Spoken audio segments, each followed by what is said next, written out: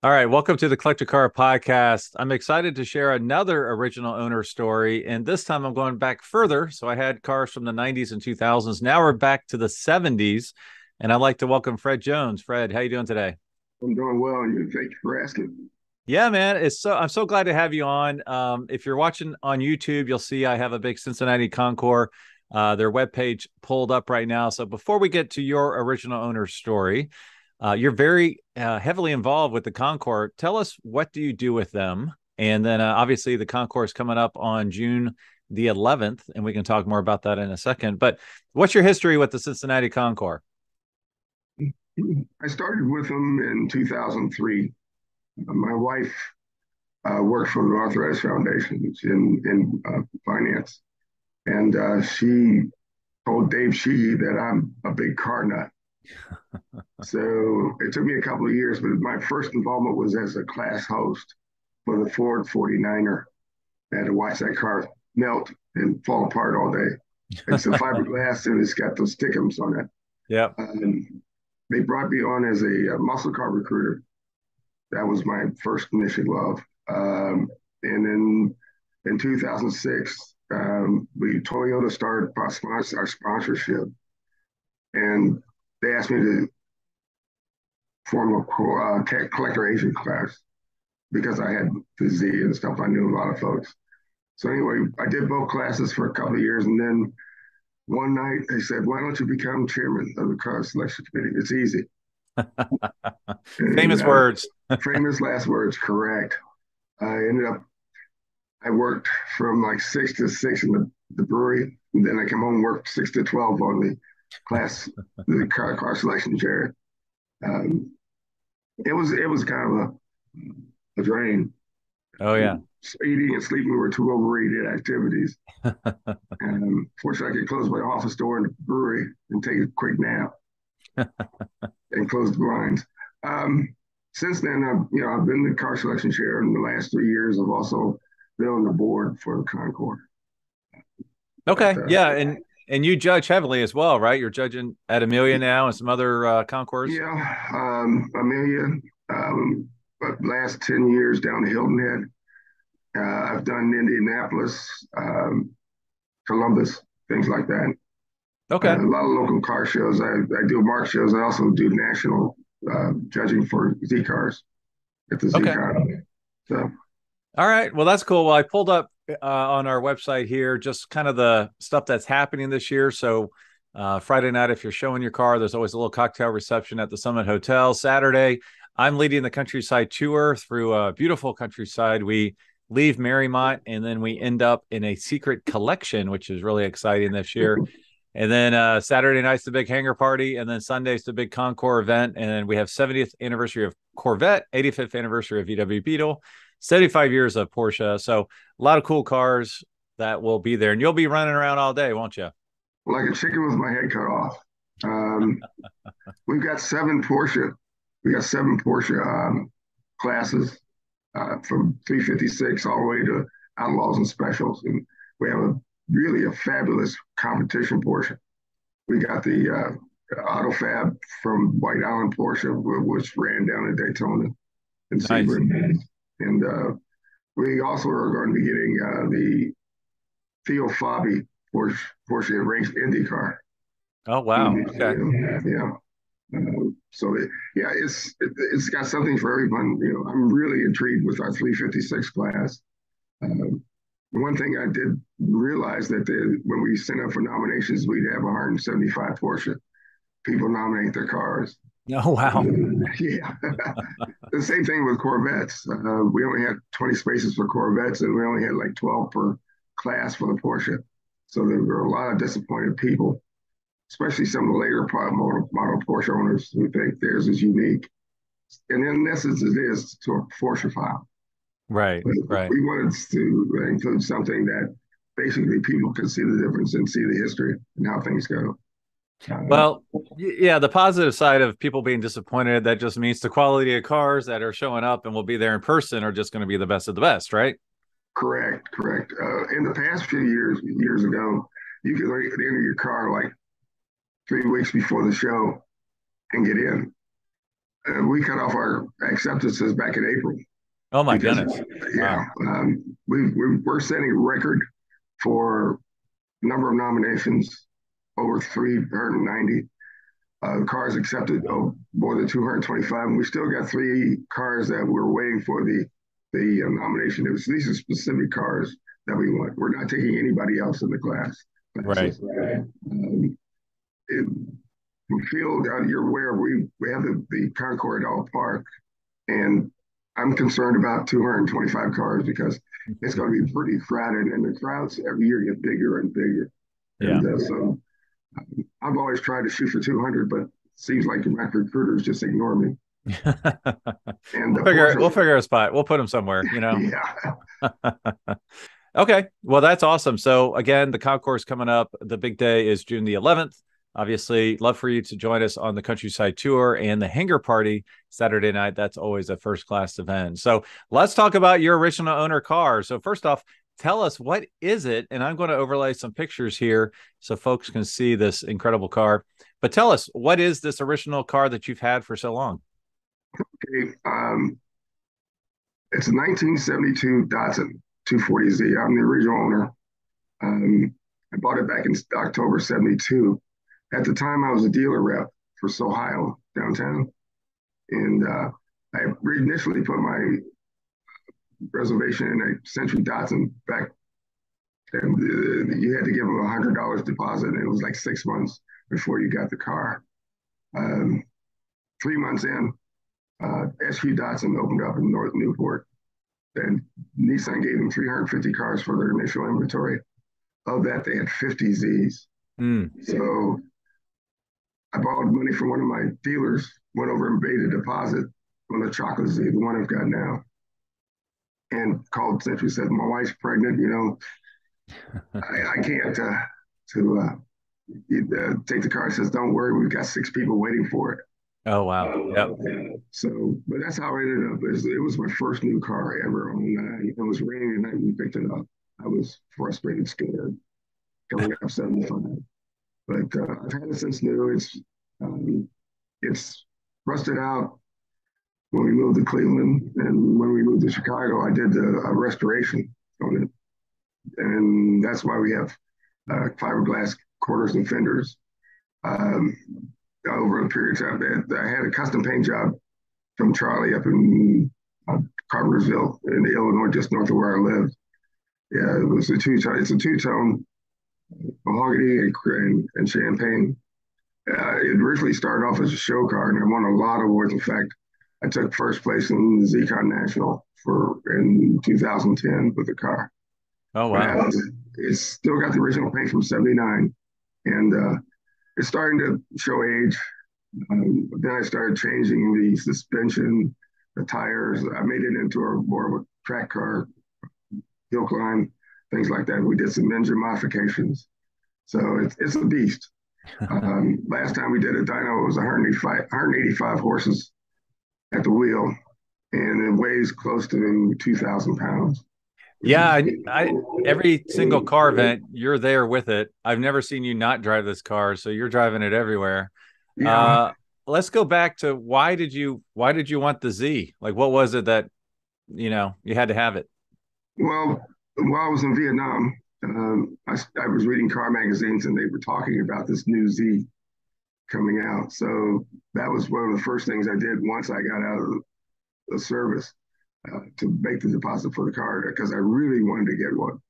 Uh, before that, I had muscle cars. I had a Mustang, 67 Mustang GTA mm. that uh, uh, my dad sold because I couldn't keep up the payments in Vietnam. So when I came back, I wanted to buy the Mustang back, but the guy told it and said so. My second alternative was to get the Z and become a sport sports car guy.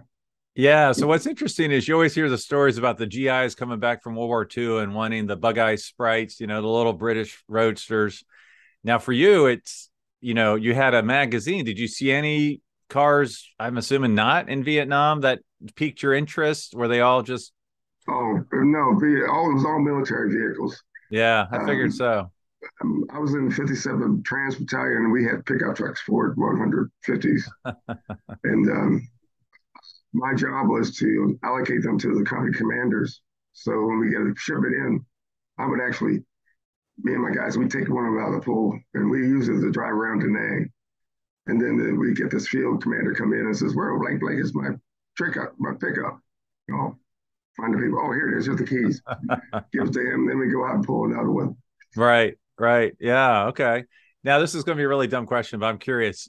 Who brought in the magazine that had these cars? Is it just the government would bring in a bunch of magazines for the, you know, military yeah, folks? At the USO, uh, at the rec center. I was at the in-country R&R center. It's where I was with the uh, headquarters company, general staff. So we could see the magazines, you know, in the restaurants or the mess rather, and stuff like that. And then the, the rooms, the team rooms. So that's that's when I first got a, a glimpse of the Z. Well, you know, I'm a Mustang guy, and you know, you had a uh, 67 GTA, so that's the only year they had GTAs. A mm-hmm. was for automatic, so if you see a 67 GT, you know it's a four-speed car. You always hear stories about, you know, the Vietnam soldier that he's away and his cool car is in the garage and his parents keep it for him, but your folks said it's out of here. Is that right? Yeah. yeah. The um, it was it, it, was not the most reliable car. It was I was drag racing it, and every Monday, I'd have to take it to my dad's garage and get something fixed on it. Oh, right. And, and he would push it off to the side, says, I got mechanics working on other stuff. They'll get to it. Um, I got so frustrated one time, I took my car down to Woody Sander on Monday. and Woody Sander called my dad and said, Doc, guess whose car is in my shop today? He blew his stack. He oh, was oh, no. pissed. but you, you won't let them work on my car. You do never take that car to somebody else. okay, that's my lesson. that's your lesson, yeah. So let's go to your Z. So you bought the Z; it was new. Um, what was that like the first couple years? Were you in love with it immediately? Did you find headaches oh, yeah. about it? it? it? was great. Um, we right after, about a year after we got the car, we moved to Cleveland, and my wife actually learned how to drive a stick in my car. And uh, we had the original clutch in it to almost uh, 80,000 miles. Mm. So uh, when we moved to Cleveland, it started rusting. And at the time, I always had a company car. So I put it in the garage and then I got transferred to Chicago. And there we I started tearing it apart, you know, getting rid of the rust, putting the fiberglass fenders on. And then I took it up to Johnny uh, Charlie rather, and he actually corrected my mistakes on the body and did the, the custom paint. And uh, so after that, it basically sat in the garage you know, for 30 years. Uh, I drive it occasionally. Um, I still keep it in the garage undercover. And uh, once a year, you know, change the oil, antifreeze, check it all over. In the winter, I jack it up to save the tires. And uh, but yeah, this year the winter was so mild, I never did get up on the blocks. You know, yeah. opportunities to take it out and, and drive it. too too far frequent this year. Was there any moment that you had it that it was, you know, all right, it's got to go, or was it always you're keeping it? I was. I had to turn down a lot of opportunities because I wanted to keep it. Mm. I could have picked up a 450 SEL, but I didn't have room my wife was not going to allow me to park her car outside of the garage. So, right. Yeah. Well, that's good. It doesn't sound like you know it was too tempting to ever get rid of it. Sometimes I'm wondered, you know, after it reaches a certain point where maybe it's not in the best shape, you know, is it time to move it on or not? And what's that that keeps it in the garage? So it sounds like it. You had a spot for it, which is great, right? Mm-hmm. Oh yeah, and I get a lot of offers to buy when I drive around. Right. Yeah.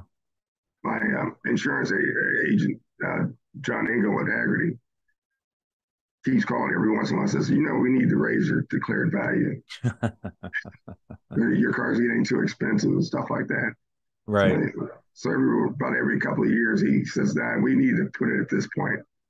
And it's kind of uh, there's the uh, the Z's are really selling strong on BAT, and in fact, there was one that sold for four hundred ten thousand dollars, but that was an outlier.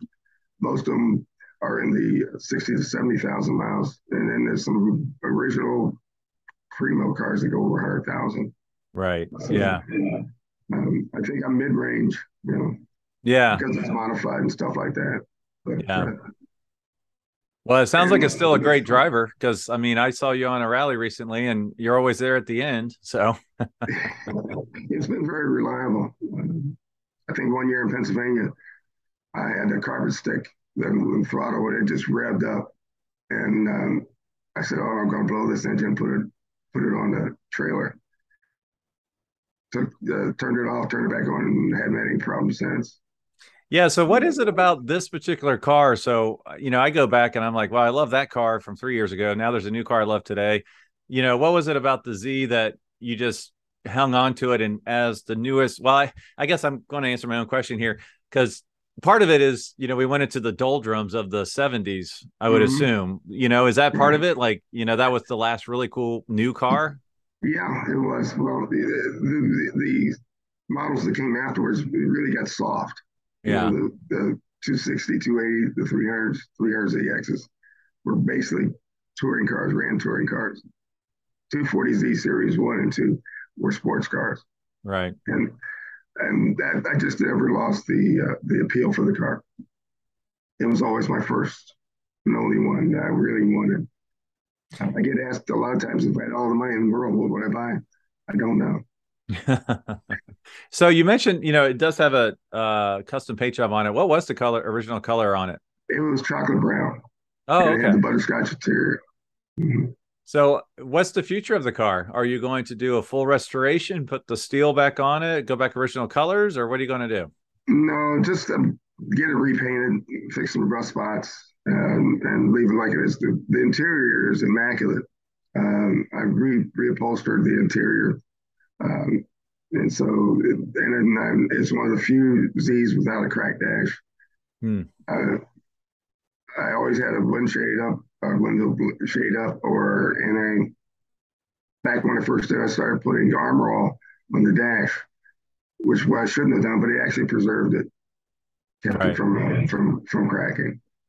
Now, do you recall you have a bunch of stickers in the rear or some of the, in the windows? What are most of those stickers from? Is that the hill climbs? No, well, yeah, one there are two hill climbs. There's the um, in the uh, Chicago Z Car Club that was part of uh, National. I'm part of Cincinnati uh, Cincinnati Car Club Z Car Club. Um, I got uh, stickers from when I ran at um, Mid Ohio, my alumni sticker. So my quarter windows were just full. and Every once in a while, I got to take something off to put it on. But uh, yeah, that's that's that's basically it. Yeah, yeah, that's really cool. So when you repaint the car, is it going back to chocolate, or are you going to do something different? I'm gonna keep the same same same car. Color. The same colors you have now, the dual mm-hmm. two tone. Yeah, okay. those were 70, 79 Nissan colors. So right. yeah. Wow, that's great. Well, I appreciate you being on the podcast just to talk about your original owner's story. Is there anything else you wanted to add, or uh, any interesting stories over the last forty years or fifty years? Oh my gosh. Um, 51 years. Wow, that's amazing that you've had that car that long. Um, did it leave you, you know, any interesting stories along the way that you like to share? Well, when we would come home to Cincinnati from Chicago, my son was like two or three years old when we started doing that, and uh, we throw him in the back hatch with his toys and drive down 65 and 74 to get Cincinnati. You can't do that now. No. Um, he did not have a baby seat my wife would take him to, to daycare, just sitting in the car. Yeah. And now she won't let me put the grandkids in. Right. So he says it's too unsafe. It is funny how that changed because we grew up with a 76 Ford Econoline van. You know, when we went cross country, my dad just took out the rear seat.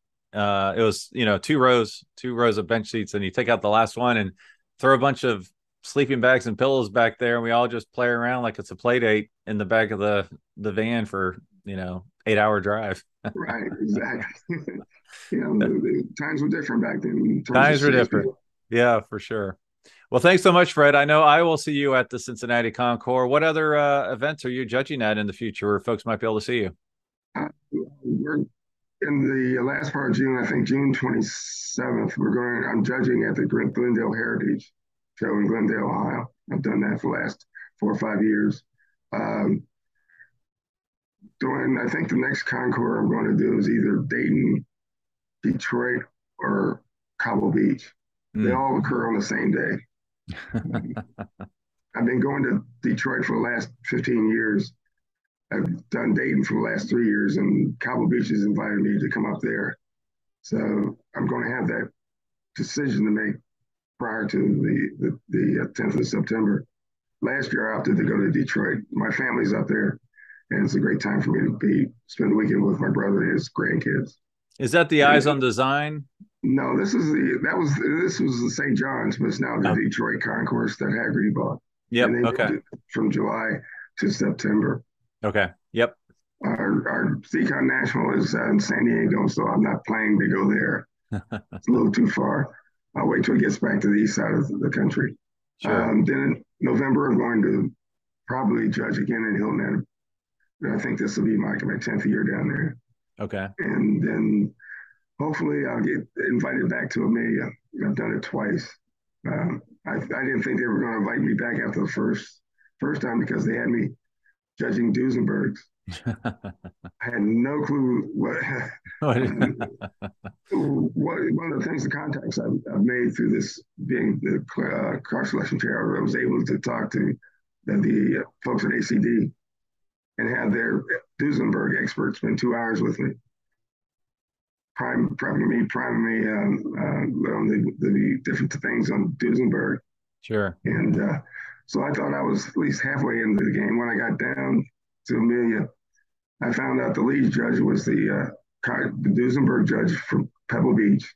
the, the other guy was um, um, the executive director of Rolls-Royce Owners Club, and they knew everything about every one of the cars. It was like after the first one, myself and the McPherson student, we just sat there and we'll listen to them. And when we get back to learn, absorb. Yeah. yeah. We were just observers. Right, right. Um, in fact, um, Harry Yeaggy's, Duesenberg was in the class, and it was obvious his, his Duesenberg was head and shoulders above all the others that were yeah. in the in the class, and he took best of show. So, yeah, yeah that, that was the fun part. Yeah, yeah, that's amazing. Well, cool. Well, I will see you on the show field, I know, and I probably see you before then. So really appreciate yeah. you being on the podcast. I appreciate it. Thank you for having me. I really appreciate it.